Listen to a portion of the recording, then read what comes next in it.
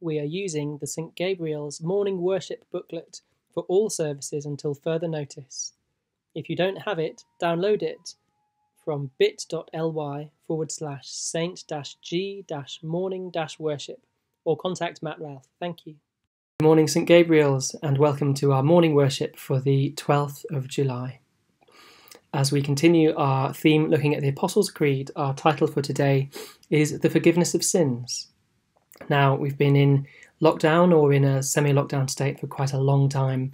And you might be finding that um, whether you live with a spouse or um, with friends, or whether you live on your own, but you just have um, you know daily dealings with people, that um, you've had to do quite a lot of forgiveness and um, managing um, conflict and trying to communicate really well during this time. It's been a time of heightened anxiety for sure. Um, and so we're exploring the question what does it mean to say that we believe in the forgiveness of sins? What does it mean for us that Christ forgave our sins? And what consequences does that have for our day to day lives? That's our theme for today. And um, Jill will be um, preaching to us from passages on that theme. And just to let you know that once we reach the end of this series, we're going to have a new series which is based on Bishop Michael Curry's course from the Episcopalian Church in the United States. Um, and we're looking forward to um, exploring his course on the way of Christian life um, after this. Thank you. As usual, our opening words from the St. Gabriel's Morning Worship booklet. And if these words are feeling quite overly familiar to you by now, then um, please know that firstly, we're looking at doing a new worship booklet with some more options as we continue to offer video services. Um, but secondly, that if you're able to internalize these words, maybe that's a good thing. And maybe you'll be able to pray them uh, with your eyes shut and without needing to use a booklet, um, written on your hearts, as it were, as Jeremiah says in chapter 31. So we have our familiar opening words Be with us, Spirit of God. Nothing can separate us from the love of God. Breathe on us, breath of God. Fill us with your saving power. Speak in us wisdom of God. Bring strength, healing, and peace. And as our theme for today is the forgiveness of sins, and as we ask for God's strength, healing, and peace, let's bear in mind in silence now people who we struggle to forgive or the things for which we need forgiveness.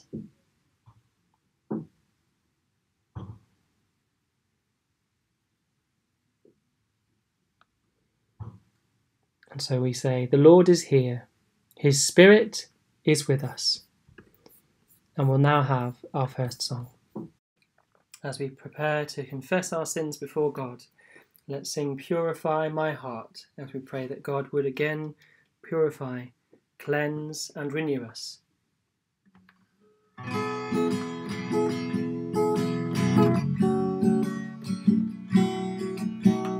Purify my heart, let me be as gold and precious silver. Purify my heart, let me be as gold.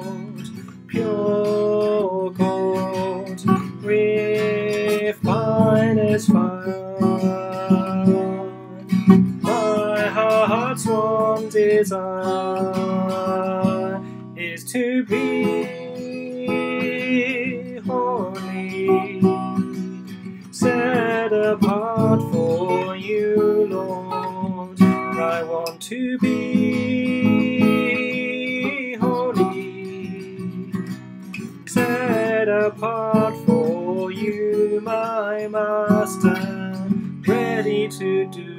your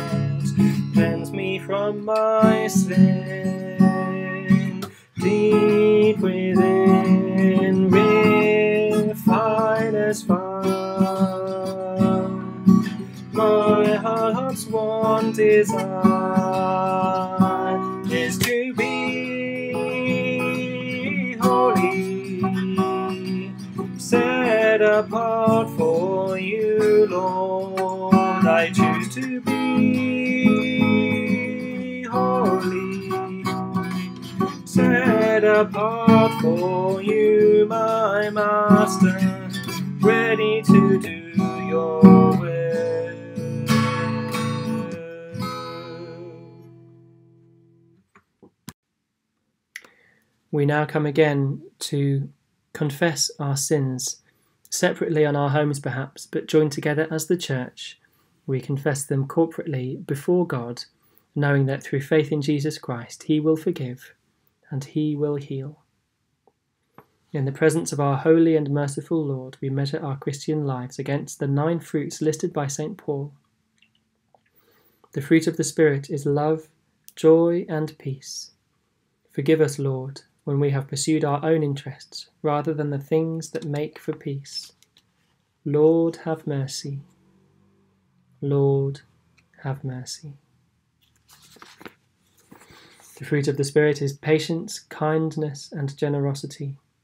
Forgive us, Lord, when we have been intolerant of other people's failings or uncaring about their needs. Christ, have mercy. Christ, have mercy.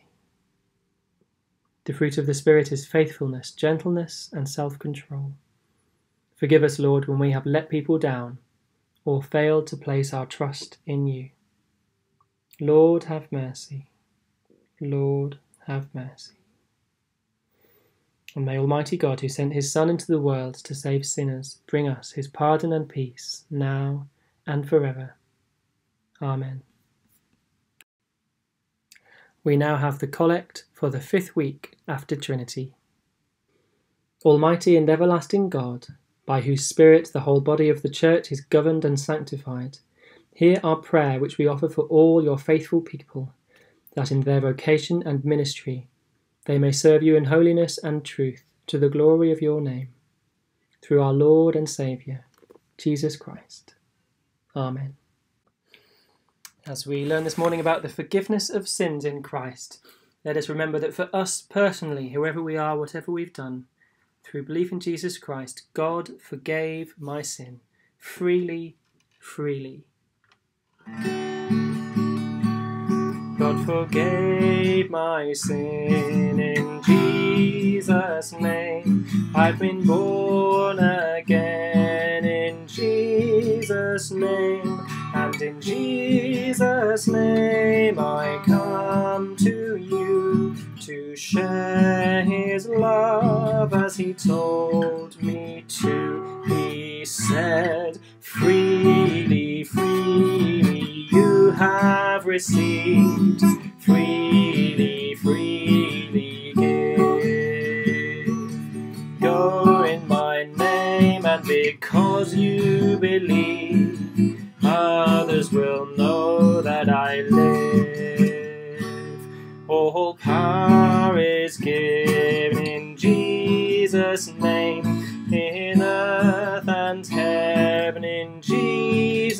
name, and in Jesus' name I come to you to share his past. He told me to, he said, freely, freely you have received,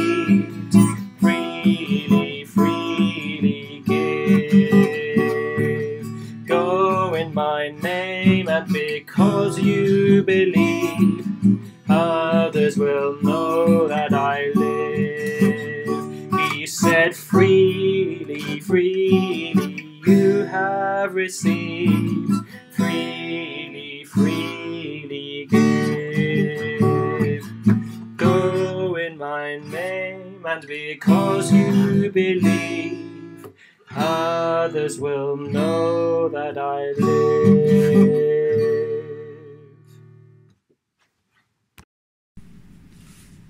The reading is taken from 1 John chapter 1 verses 5 to 10. Light and darkness, sin and forgiveness. This is the message we've heard from him and declare to you. God is light, In him there is no darkness at all.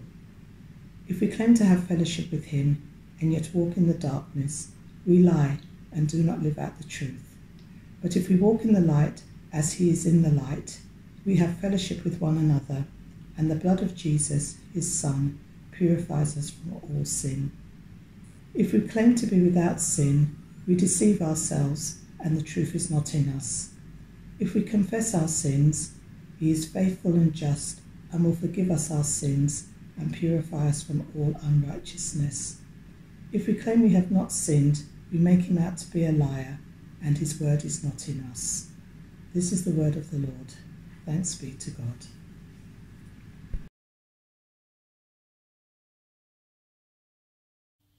Good morning, St. Gabriel's.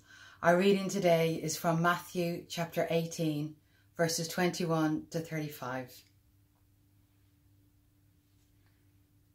Then Peter came to Jesus and asked, Lord, how many times shall I forgive my brother or sister who sins against me? Up to seven times. Jesus answered, I tell you, not seven times, but seventy-seven times.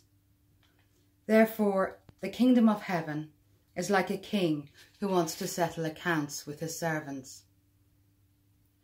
As he began the settlement, a man who owed him 10,000 bags of gold was brought to him. Since he was not able to pay, the master ordered that he and his wife and his children and all that he had be sold to repay the debt. At this the servant fell on his knees before him. Be patient with me, he begged, and I will pay back everything. The servant's master took pity on him, cancelled the debt, and let him go. But when that servant went out, he found one of his fellow servants who owed him a hundred silver coins. He grabbed him and began to choke him. Pay back what you owe me, he demanded. His fellow servant fell to his knees and begged him, Be patient with me, and I will pay it back. But he refused. Instead, he went off and had the man thrown into prison until he could pay the debt. When the other servants saw what had happened, they were outraged and went and told their master everything that had happened. Then the master called the servant in. You wicked servant, he said, I cancelled all that debt of yours because you begged me to. Shouldn't you have had mercy on your fellow servant, just as I had on you? In anger, his master handed him over to the jailers to be tortured until he should pay back all he owed. This is how my heavenly Father will treat each of you unless you forgive your brother or sister from your heart. This is the word of the Lord.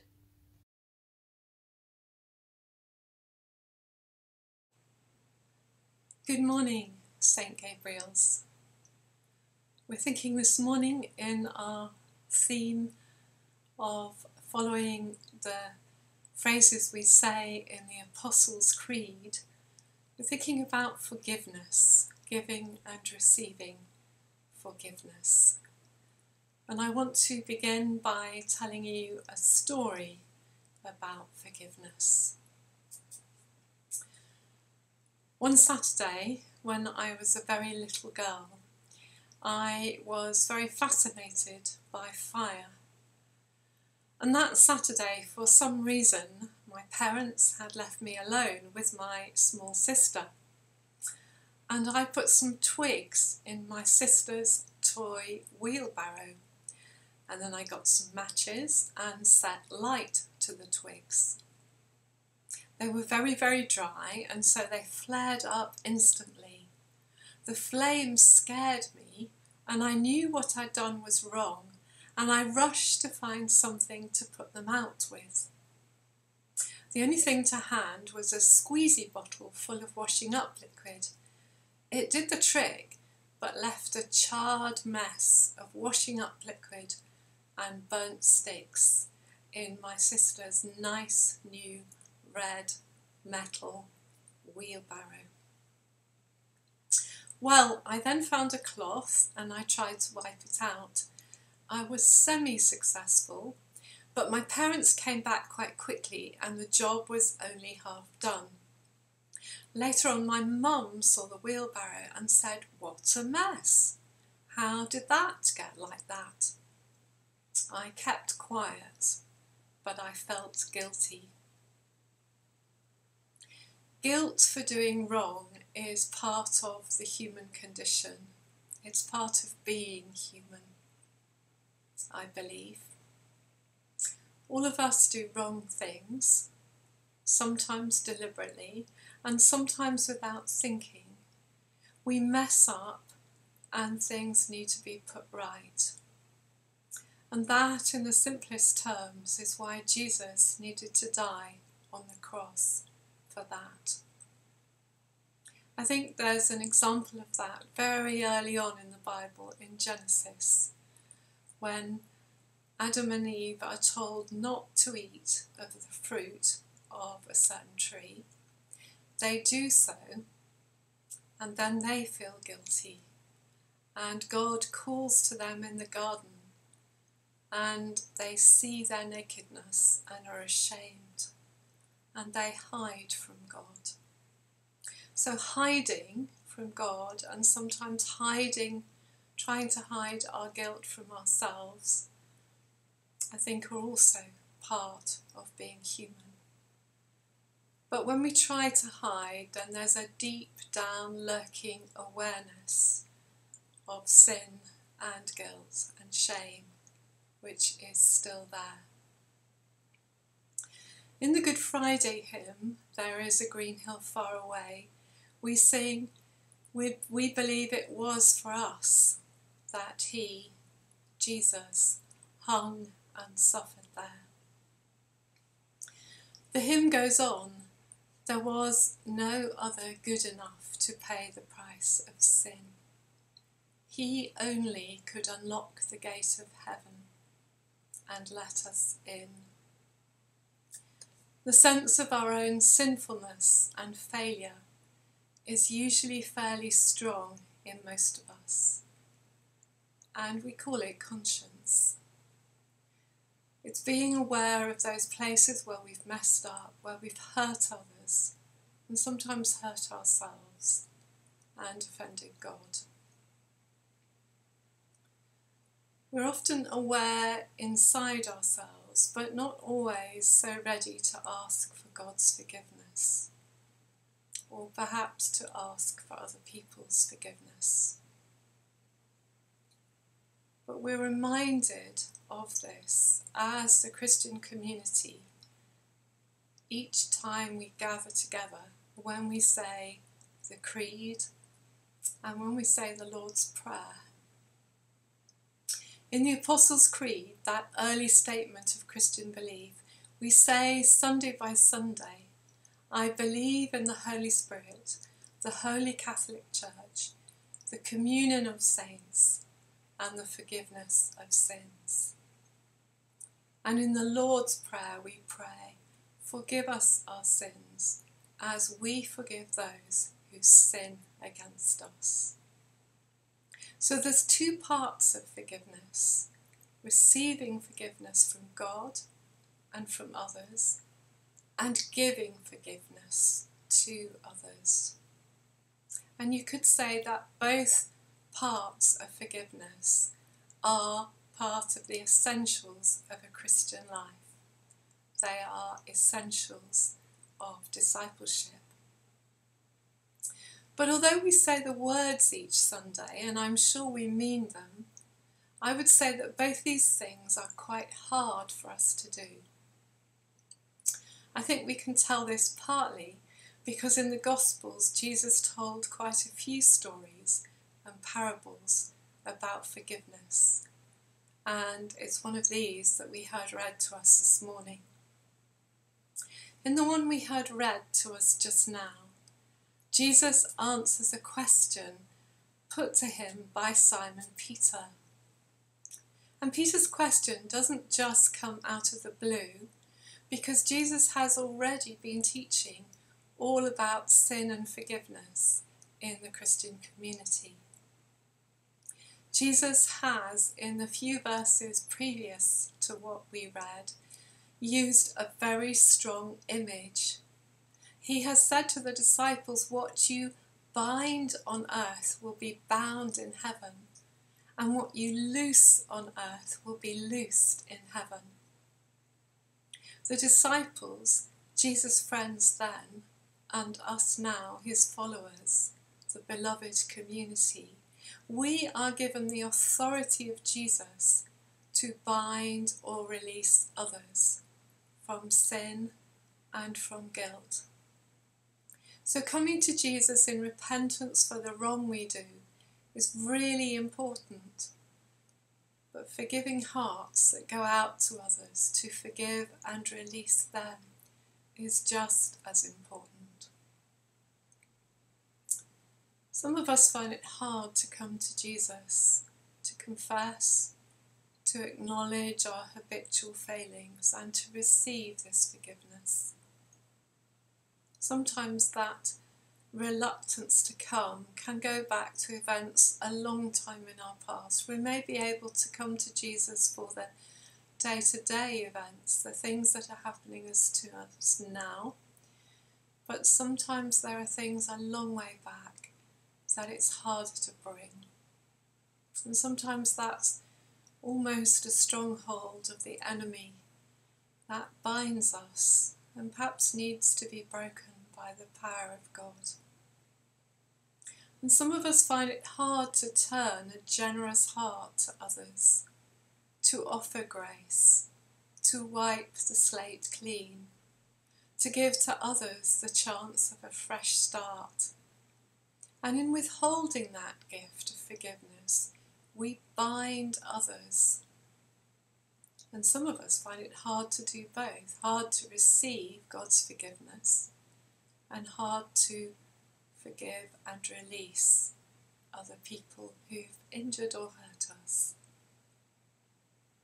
Peter, it seems, was someone who really took time for the penny to drop about what Jesus was saying.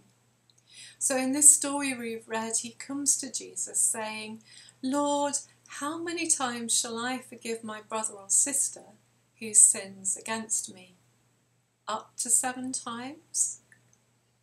And it's almost like he's kind of thinking there's some kind of limit. If I've done that, I've satisfied the commands of God.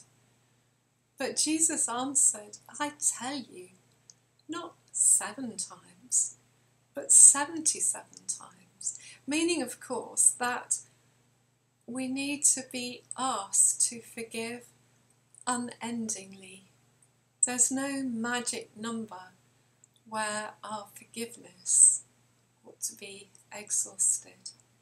Because God's forgiveness, God's generosity, God's abounding love is never ending. But then in Matthew's Gospel, Jesus then goes on to tell the parable about the unforgiving servant. And some people think that this parable may have been added a little later, and maybe simply adding it suggests that perhaps forgiveness and receiving forgiveness may have been a problem in the community that Matthew was writing to. Anyway, Jesus tells the parable about the servant. And in this parable, the first servant who owes an absolutely colossal debt to his king, and in the parable, the king is likely to represent God. This servant is forgiven. He is released from his debt altogether with his wife and children and all his possessions and he could have been expected to have lost them all because the gift is so enormous, he hadn't got any possibility of paying.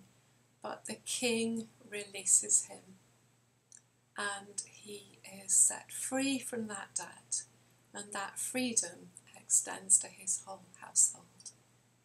And you might say he could have been expected after this to have had a sense of the abundant, overflowing, excessive love of God. This is the amazing grace which the former slaveholder John Newton writes about in the famous and much loved hymn, I once was lost, but now am found. It's the grace extended to the prodigal son who returns to the forgiving Father. It's the grace that we receive when we come to Jesus humbly and in sorrow, and we ask for forgiveness, we ask for release. But in this story, instead of appreciating the grace abounding of the king that has released him from his debt, this first servant goes out and threatens violently one of his fellow servants who owes him a hundred pence. He seizes this poor servant by the throat, and despite his fellow servants pleading for this man's life, he will not let him off and throws him into prison. And the fellow servants watching are so distressed by this lack of equality and justice that they go into the king, in allegorical terms, remember, the king is God, and they report all that has happened. And then the punchline of the story is that the king this time orders the first servant's torture until he should pay his entire debt. The parable is so extreme. What are we to make of it in terms of how we live our Christian lives?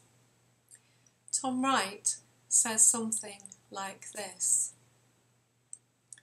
Forgiveness isn't like the meal waiting for you back home if you fail to buy a sandwich for the homeless man on the street. Forgiveness isn't like the Christmas present for a sulky child from a kindly grandfather. No, forgiveness is more like the air in your lungs. There's only room for you to inhale the next lungful when you've just breathed out the previous one. If you insist on withholding forgiveness to others, you will also be locked up in receiving.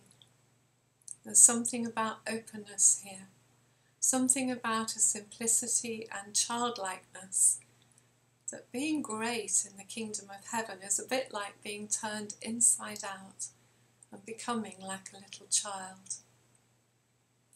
We each of us are likely to have historic patterns of resentment. We acquire these patterns through life towards people who have injured us along the way. Maybe, maybe not all of us. Maybe some people are so full of the grace of God that they're just able to let go of these things. But many of us carry these small hurts along the way and they may even be woven so deeply into our lives as historic resentments that we hold on to them, even if just unconsciously. But sometimes holding on to past hurts means that we're very likely to spill over frustrations into our present lives. And sometimes those frustrations spill out towards others who may remind us of those who did us the injury. So I think there's both a current and a historic meaning to coming to Jesus day by day, Sunday by Sunday, and asking to give and receive forgiveness. Of course, we want to be aware of those small things that have happened in the course of each 24 hours that we need to let go of, that we need to confess, that we need to acknowledge, and we need God's grace and help to help us change and be different. But sometimes there is perhaps a challenge to search deeper down and to allow God to gently, lovingly um, help us to become aware of those things which are more deeply rooted in our lives, where we hold patterns of anger and frustration towards individuals, maybe towards whole scenarios that have harmed and hurt us along the way. These things are not easily released, and I don't want to speak too lightly of them, particularly those things where very, very deep injury has indeed been done. But ultimately, the kingdom way, Jesus' way, is to show us something different. He says, freely, freely you've received, freely, freely give. Go in my name, and because you believe, others will know that I live. That's the challenge this morning. Releasing others, forgiving others is a day in, day out task, and it's part of the challenge of discipleship. Following Jesus, releasing others, forgiving others is a way of truly releasing ourselves from old patterns. And in the end, there is simply no other way to be in Jesus' kingdom. And so it is a lifelong challenge. Worship, though, can draw us close into the heart of God. When our hearts are full to overflowing with all that our generous Lord has done for us, it should be easier to extend gracious and generous hearts to others. And of course, the gift of music, which many of us are missing so much, the gift of being together, to sing together, is part of the way that God, through His Spirit, works in our hearts. But in the privacy of our homes, we can draw close to God in other ways. And one of the ways we can do this is by reading and perhaps even reading aloud the words of the Psalms. Maybe there's a challenge this week that we might read a psalm each day and ask God to help us join in the words of the psalm, both the words of anger and frustration, because there's a great deal of anger and frustration in the Psalms.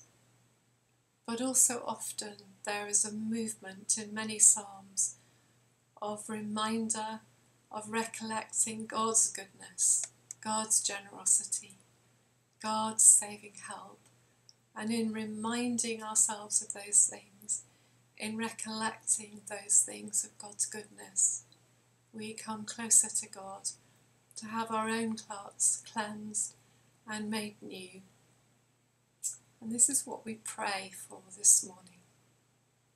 And so, as we join in the words of the Apostles' Creed as we join in the words of the Lord's Prayer. We pray that we might not only say with our lips, but believe in our hearts and practice in our lives that giving and receiving in forgiveness that Jesus offers, that Jesus teaches, that Jesus commands us to. So let's pray now. And as we pray, dear Lord, we know that you are not, in fact, a vengeful king. The picture of the servant in this story, although an extreme and exaggerated one, may in fact be a picture of some of our hearts sometimes, where we are so unaware of the immensity of your forgiveness for us. But you are not a vengeful king, and you go on pouring out generous love towards us. And so, our prayer this morning is that we might receive freely that generous love that we might know the cleansing and the renewing of your forgiveness, and that out of that cleansing and renewing of our lives, that we ourselves might be able to extend the hand of friendship, of generosity, of reconciliation towards any who have injured us, towards any who have harmed us. We pray this in Jesus' name. Amen.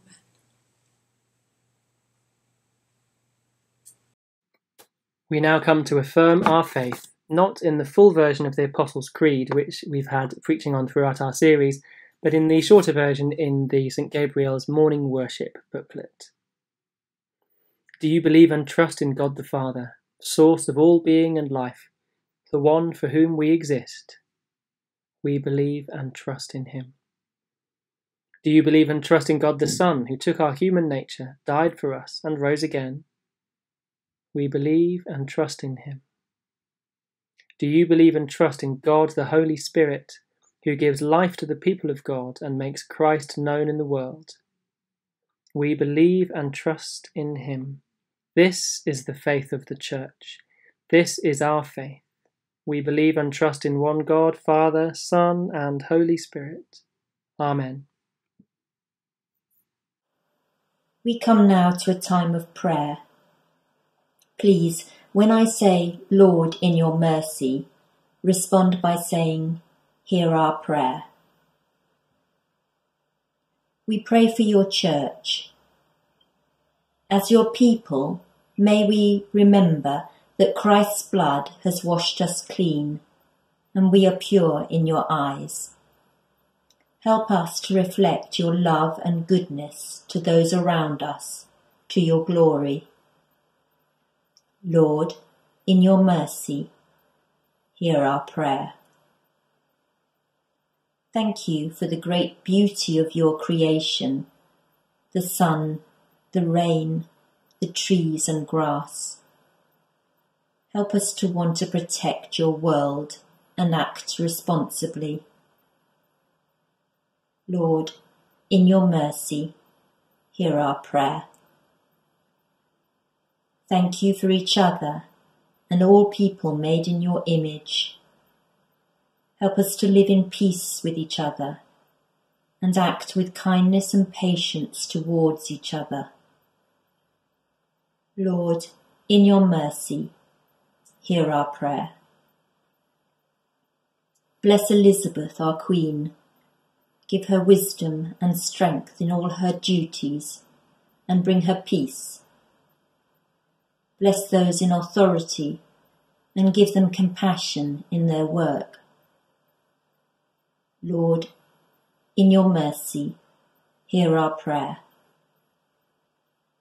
Bless our community, especially in this time of uncertainty and need. Bring employment and prosperity to our area for all its residents help those struggling with strained relationships in this turbulent time.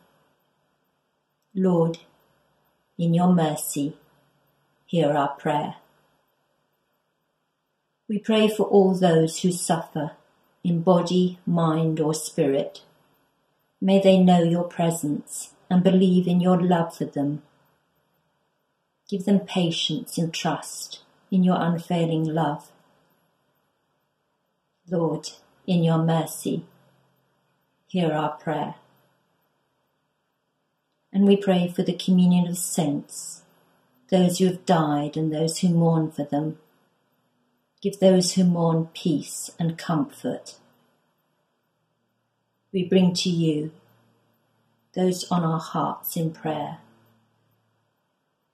Lord, in your mercy, hear our prayer. Thanks be to God. Amen. Hello again. Um, I just wanted to say in our notices slot a big thanks to Michael um, for putting together the service last week while I was away. And we had a restful time. Thank you for everyone who sent their best wishes. I also wanted to let you know, as our church, St Gabriel's, that um, we will be moving in late August, um, as as we announced when we were all together. But yeah, that time has crept up on us due to lockdown. Um, I'm going to keep doing um, the service videos for the rest of July, uh, and then there will be um, a, a, slightly different plan, which um, will probably do something a little bit different, but it will still be um, uh, possible to watch remotely um, from your homes and to join in with worship that way. but there'll be more information about that soon. but as I do my last few services, I want to say a huge thank you to everyone for your encouragement, for your participation, and for your feedback and ideas. And while it has been um, a busy time, um, it has also been um, a source of joy because of those things. So thank you. Now, I know that one thing we've been sad to miss while we've been in lockdown and not meeting in person has been the opportunity to mark people's birthdays and to sing to them on Sunday. And uh, I'm aware that I've missed lots of birthdays, and I'm sorry about that. And we haven't really been doing it. But this week there's been lots of birthdays, so I thought we should, um, because on um, Friday we had uh, Vanessa's birthday, our rector, and then on Saturday it was both her husband Cameron's birthday and key for us it was also Lawrence's birthday on Saturday. So I thought we just couldn't let that pass without singing um, to Lawrence happy birthday and God bless you from all of us at St Gabriel's and remembering Vanessa and Cameron too. So let's sing. Happy birthday to you. Happy birthday to you. Happy birthday, God bless you. Happy birthday to you. And I hope you had a great day on Saturday. Thank you. How deep the Father's love for us. As we sing this now classic song, let us remember, as it says in the third verse, This I know with all my heart, his wounds have paid my ransom.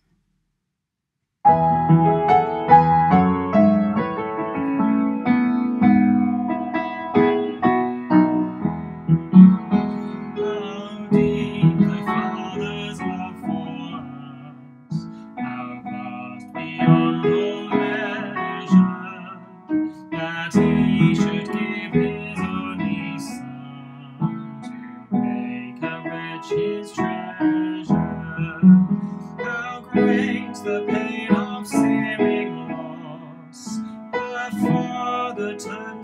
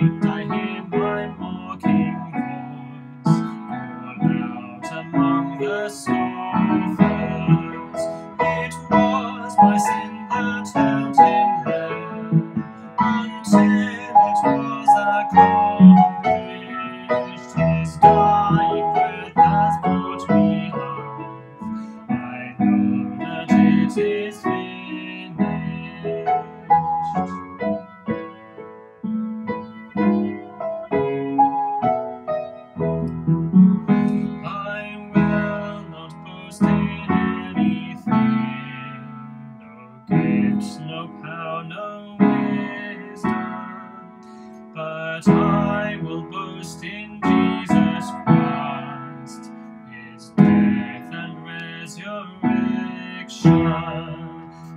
should I gain from his reward?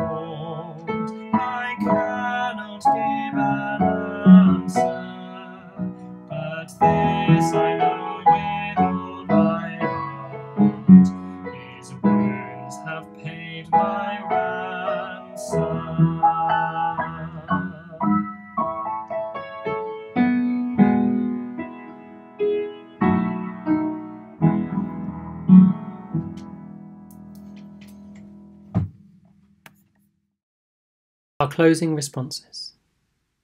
A blessing on you who are poor, Yours is the kingdom of God. A blessing on you who mourn, you shall be comforted. A blessing on you who hunger for justice, you shall be satisfied. A blessing on you who make peace, you shall be called children of God. A blessing on you who are persecuted for the cause of the right, yours is the kingdom of heaven. Eternal God, our beginning and our end, accompany us in this day's journey, dawn on our darkness. Open our eyes to praise you for your creation and to see the work you set before us today. Take us and use us to bring to others the new life that you give. In Jesus Christ our Lord. Amen.